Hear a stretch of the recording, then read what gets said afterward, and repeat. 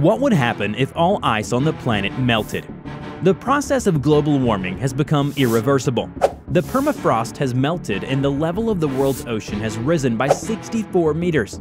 Holland, London, Venice, Florida, San Francisco, New York, and Buenos Aires no longer exist.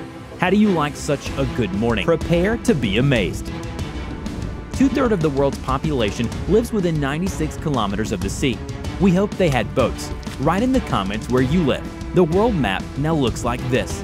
North America, 111,508,688 people died.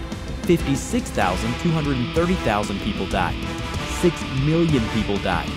South America, 13 million people died. You can see the mountains in place of the Caribbean coast. Africa, 14 million people died. The global warming will make the continent almost unsuitable for life.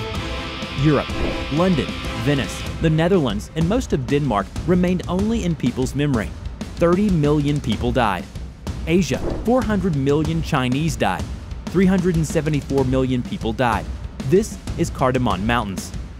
Australia, 25,000 people survived of 25 million. Did you know that the permafrost stored carbon, methane, and frozen plant remains?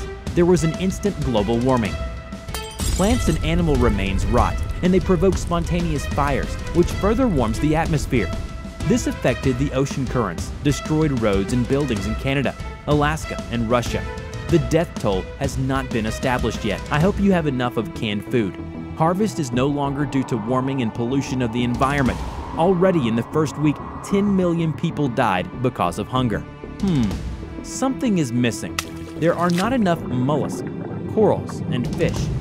About a third of the carbon dioxide is absorbed by the ocean. The pH level rose by 50%. As a result, many species died. Global warming did not spare amphibians. The first to disappear was an orange toad and frog harlequin.